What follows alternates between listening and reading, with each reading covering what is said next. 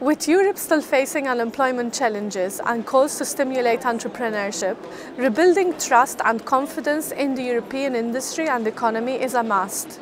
We need businesses and SMEs that reflect the aspirations of society and which through digitalization can keep their pace in a competitive environment.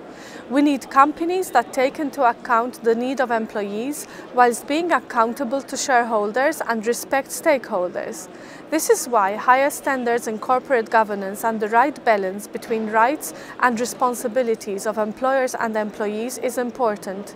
Effective corporate governance is the key to long-term business success. As a member of the Legal Affairs Committee, I have worked with my colleagues on such matters.